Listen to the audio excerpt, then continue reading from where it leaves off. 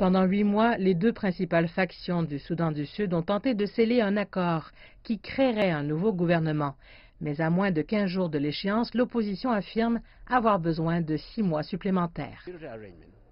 La question de sécurité doit être réglée avant la mise en place du gouvernement et aussi le nombre d'États, car nous devons entrer dans ce gouvernement, non pas pour négocier à nouveau, mais pour mettre en œuvre l'accord tel qu'il a été conclu. Mais le gouvernement dit qu'il n'a pas de réserve. Que voulez-vous dire par le gouvernement est-il prêt? Si le gouvernement n'était pas prêt, nous ne serions pas venus ici. Un groupe de surveillance a déclaré qu'il restait 15 importantes tâches en suspens afin de parvenir à un cessez-le-feu complet. S'abstenir d'actes de violence sexuelle et sexiste des différents partis ainsi que le cantonnement, le désarmement, la démobilisation, la sélection, l'unification ainsi que la formation d'une force et la démilitarisation des centres civils. Parmi les autres problèmes, citons le retard de la mise en place de certaines institutions, les contraintes financières et le manque de coordination.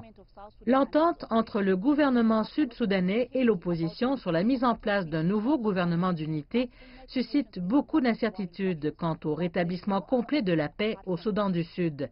Mais les Nations unies avertissent les partis qu'il n'y a pas d'autre choix que la paix.